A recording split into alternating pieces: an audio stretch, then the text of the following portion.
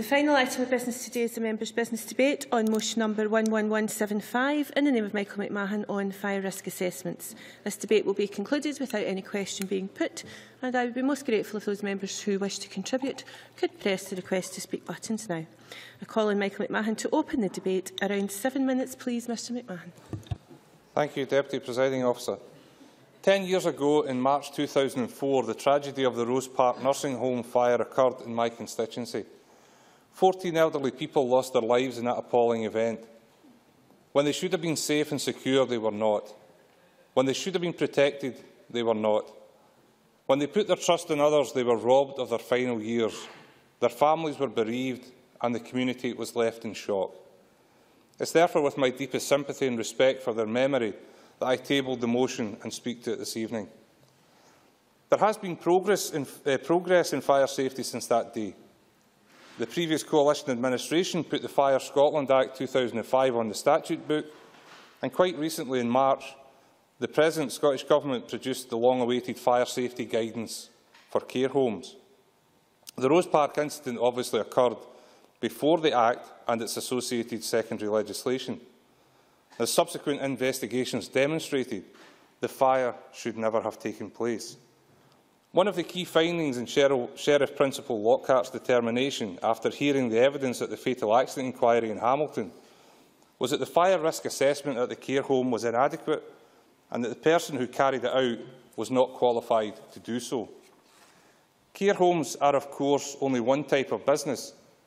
They are now systematically and actively visited by the Scottish Fire and Rescue Service. However, Deputy Presiding Officer, the 2005 Act dealt with fire safety in all commercial premises. Part 3 of the Act concerns fire safety.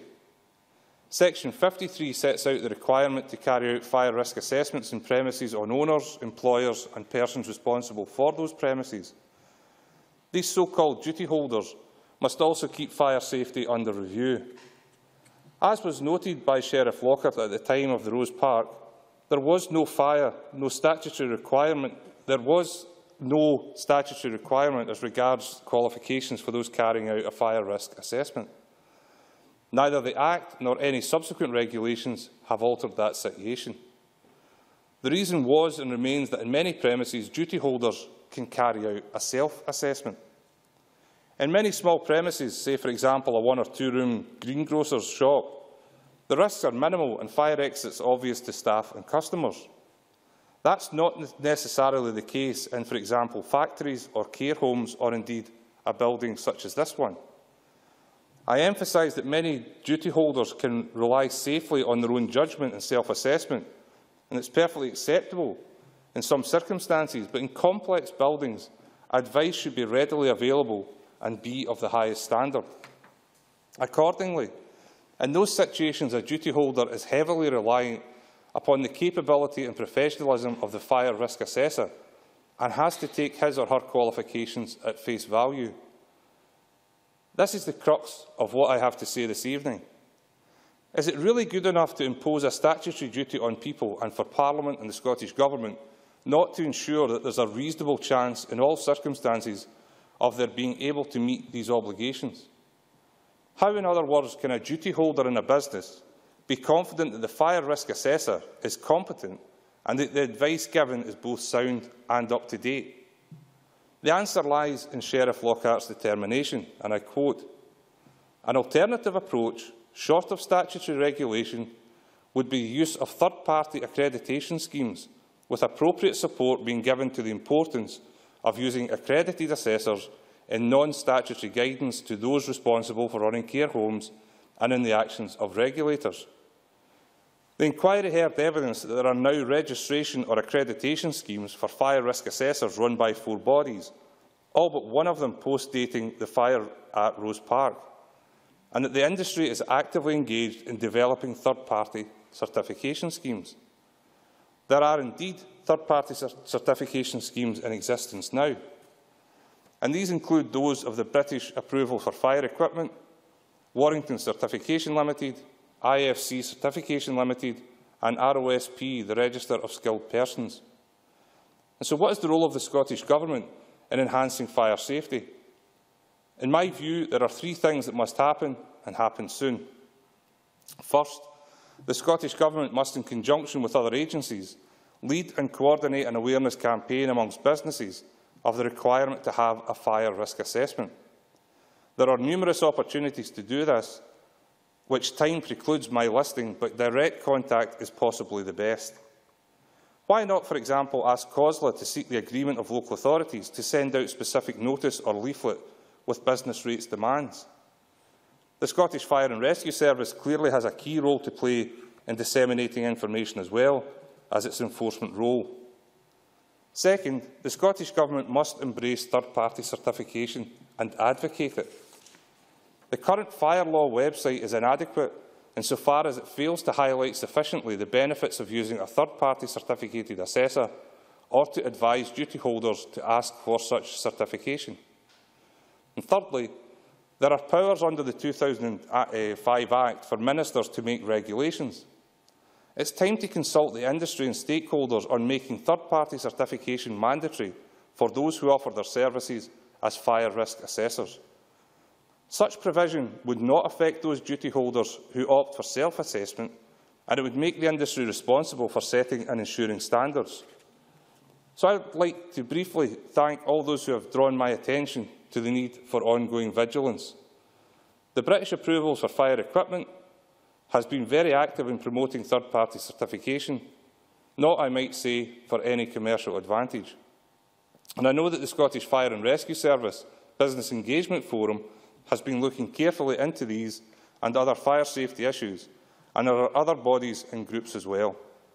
In conclusion, Deputy Presiding Officer, I hope that the Parliament and the Scottish Government will agree that we owe it to the memory of all those who lost their lives in Rosepark 10 years ago and their friends and relatives to act decisively to prevent further fires.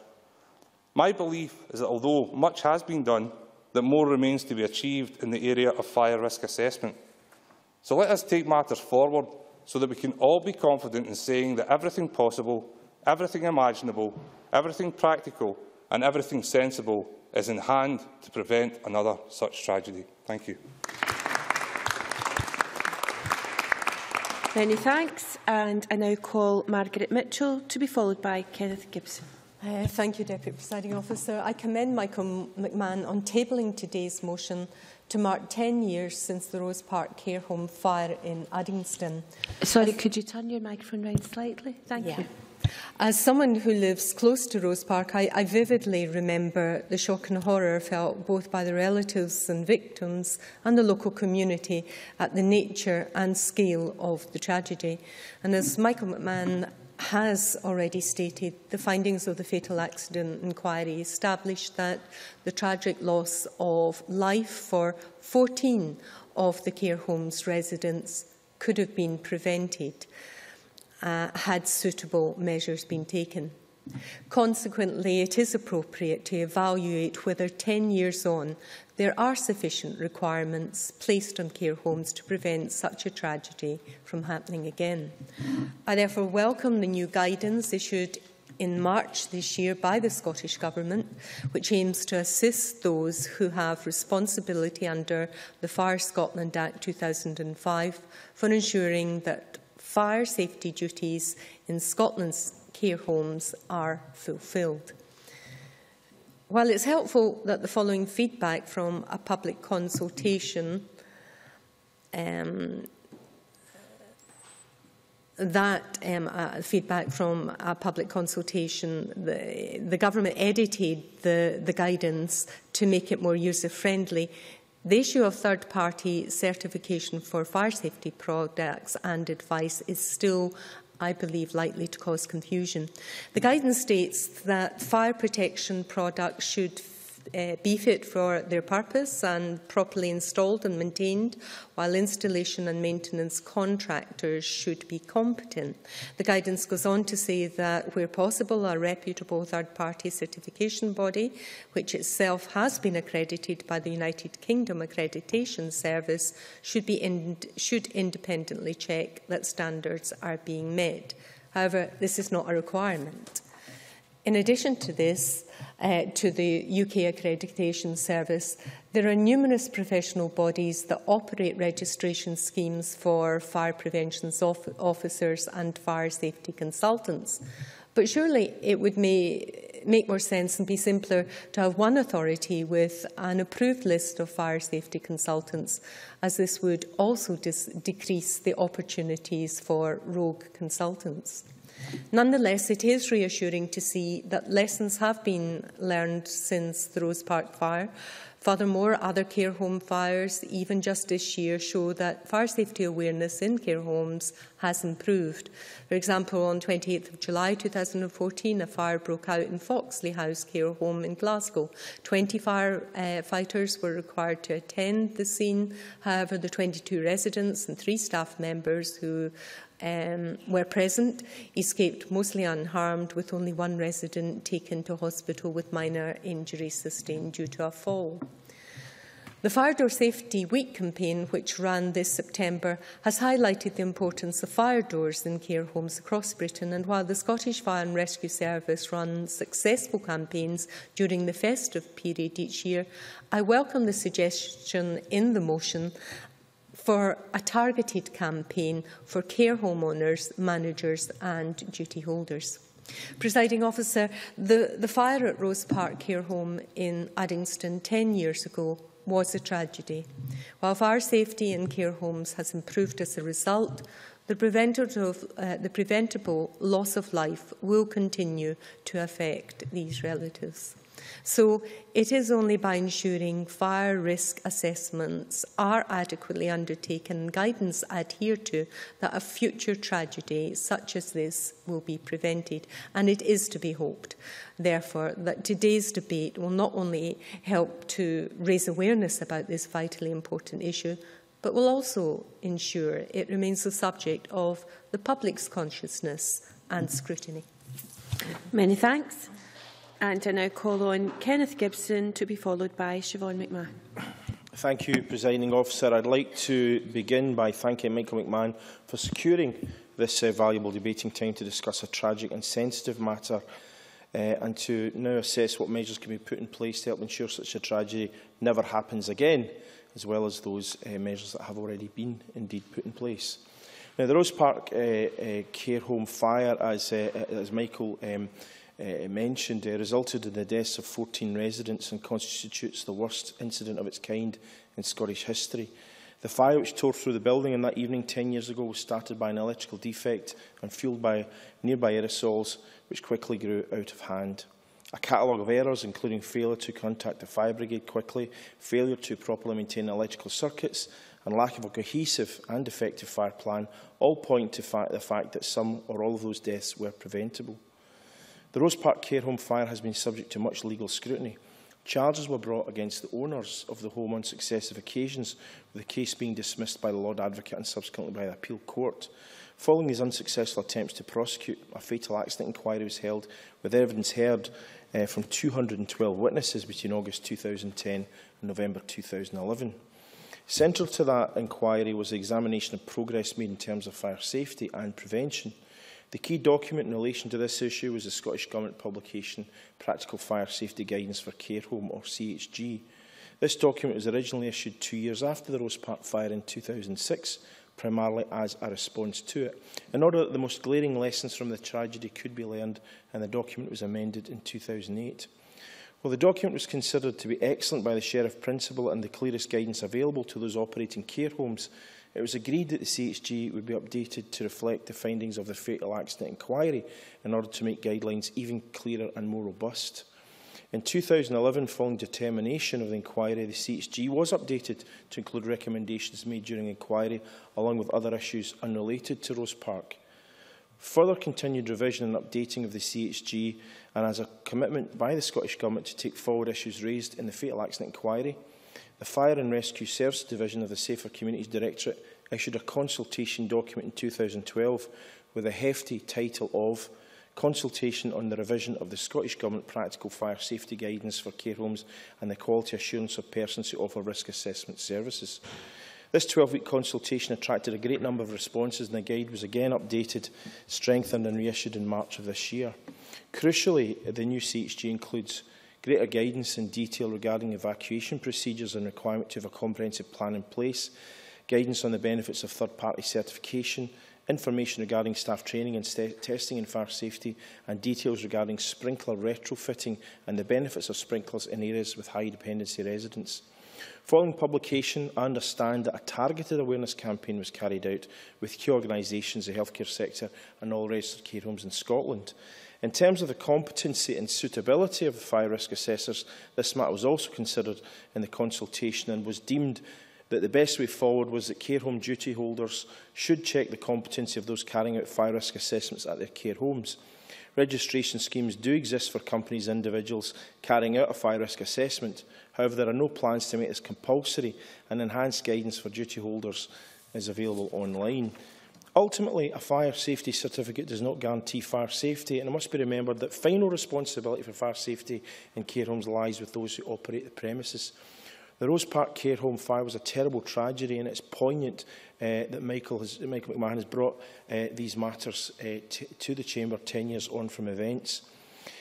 Uh, uh, the actions taken by this government and indeed the previous administration uh, have brought us to where legislation, assistance and guidance has substantially reduced the likelihood of such a horrible accident taking a, a place again in the future. But of course, there is absolutely no room for complacency when it comes to ensuring the safety and security of the most vulnerable in society, and we must ensure that those entrusted with the care of our older people are properly regulated and held to account in terms of the quality of care that they provide.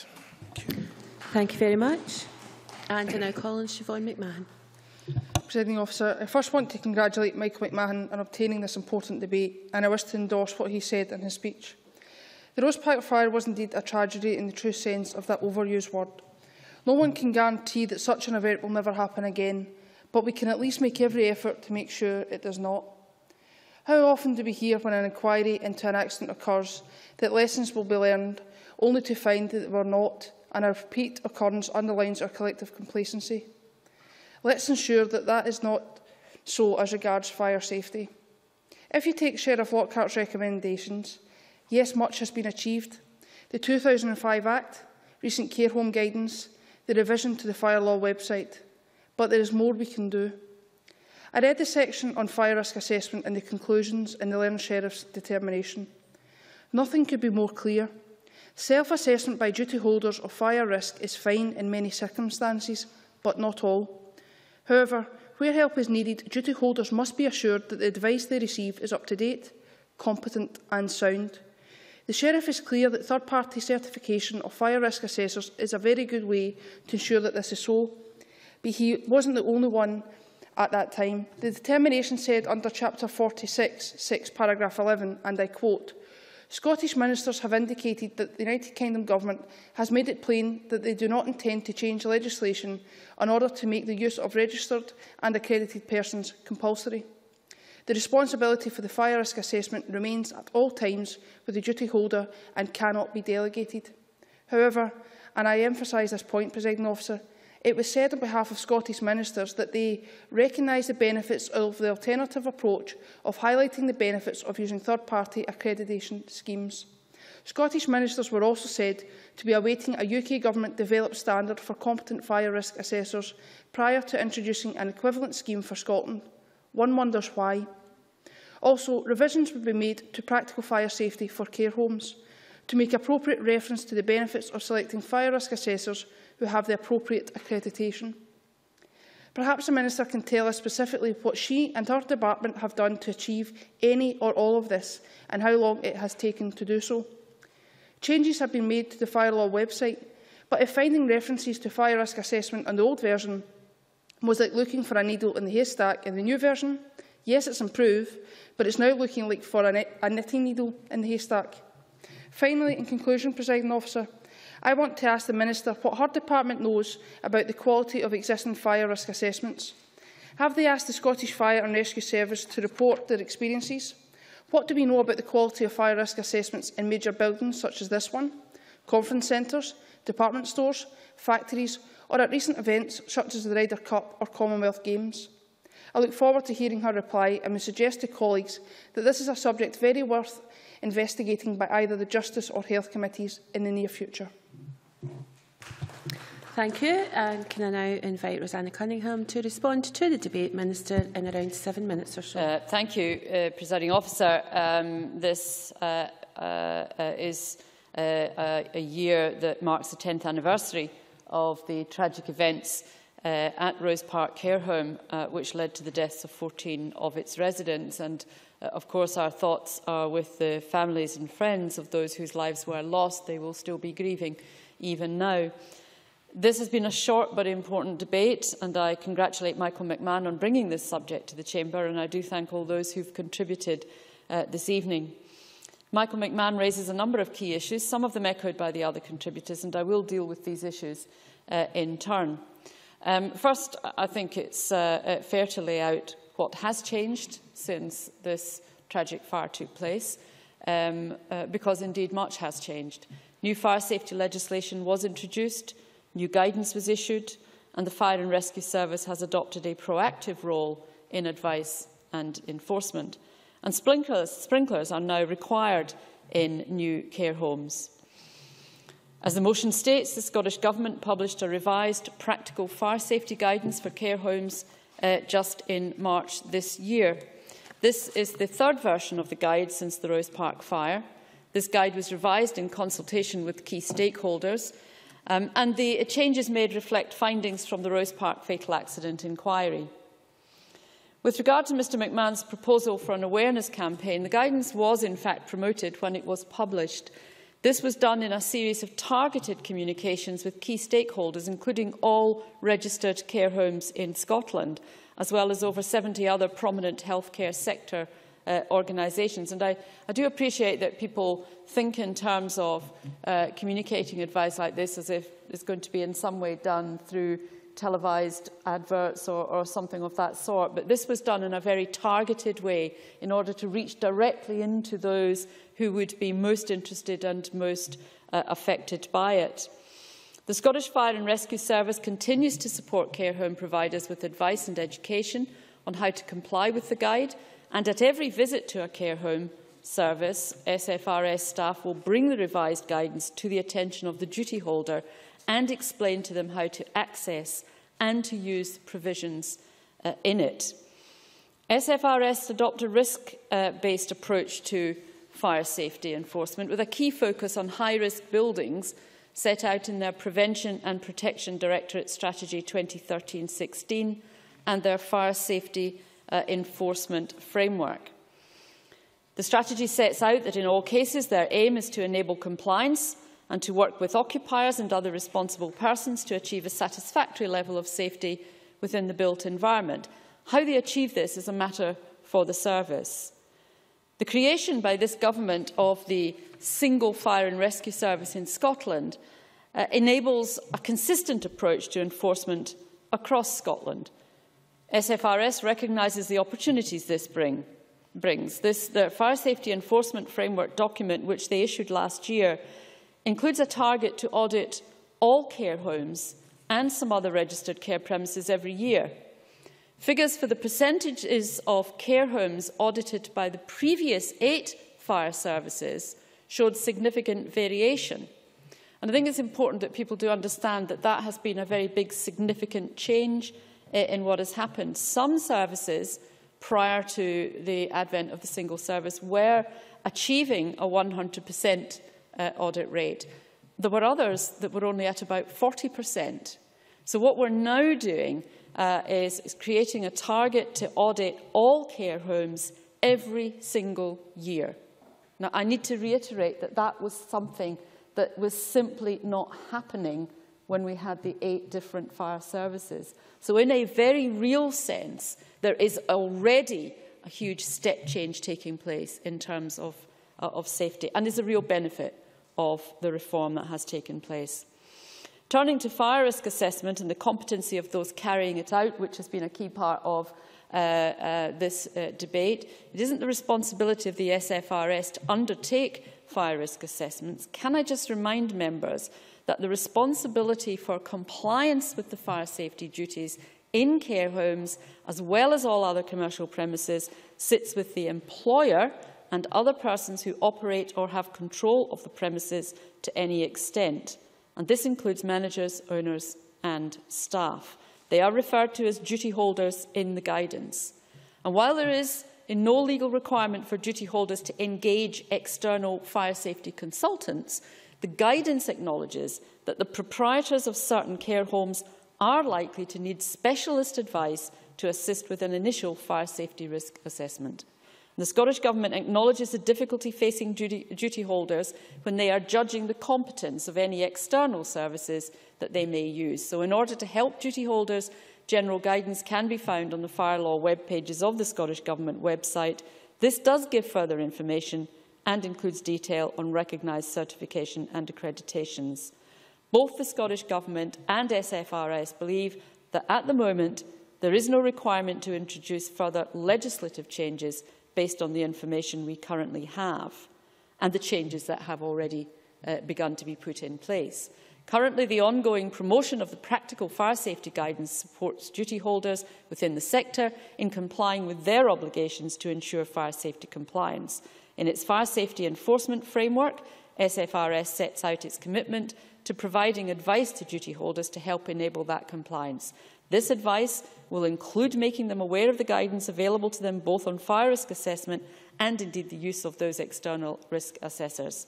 And the Scottish Fire and Rescue Service website itself, as well as having a page on how to complete a fire risk assessment, also provides necessary links to both the Fire Law and Fire Sector Federation web pages under its section on safety information for businesses. The Regulatory Review Group, an independent group which advises Scottish Government on business regulatory matters, is currently looking at non-domestic fire safety legislation and is due to report in spring 2015. I'm not entirely sure whether the member uh, is aware of that and he might wish to have a look at some of that uh, that is happening. Uh, I will undertake to write to them after this debate, asking them if they will look specifically at the issue of the competency of risk assessors as part of this review. Uh, and I would invite the member to uh, engage with that uh, uh, as well. In conclusion, presiding officer, in light of the ongoing promotion of guidance, as well as the current review by the Regulatory Review Group, we don't consider at this point it's necessary to introduce any additional requirements at this time. However, we will of course continue to monitor the situation and will close, uh, consider closely the findings of the Regulatory Review Group when these are available next year. Thank you. Thank you, Minister. And that concludes Michael McMahon's debate on fire risk assessments. And I now close this meeting of Parliament.